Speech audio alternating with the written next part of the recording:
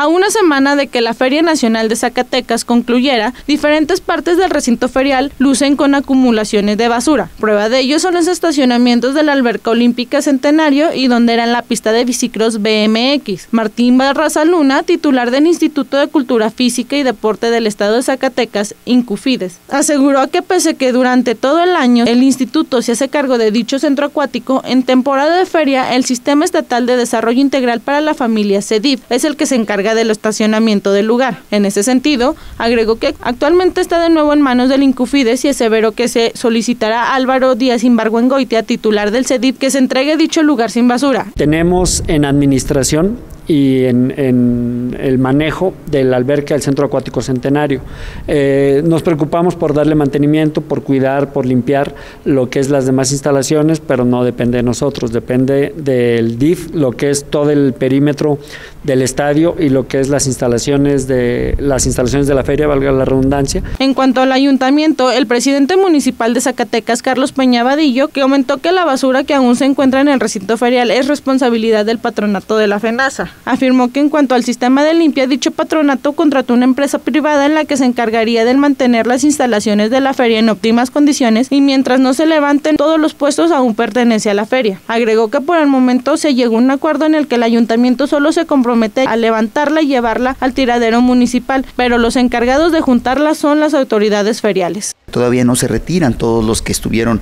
eh, haciendo comercio, que instalaron juegos mecánicos en las instalaciones de la Feria Nacional de Zacatecas y eso ha, ha permitido que a la fecha se siga todavía extrayendo basura de esa zona y que nosotros, bueno, pues día con día estamos haciendo y dando el apoyo, pero depende ya del llamado o de la solicitud que nos hacen para acudir, varían los horarios, hay ocasiones que en la mañana nos piden que no pasemos porque apenas está recolectando, pero ya al mediodía aquello es un desorden en el tema de basura, nosotros tenemos que acudir o a veces que nos lo solicitan que sea por la tarde, pero hemos estado dando la atención, pero es por eso porque todavía hay algún movimiento en las instalaciones de la feria. Con imágenes de Guillermo Avilés, Claudia Belmonte, NTR Televisión.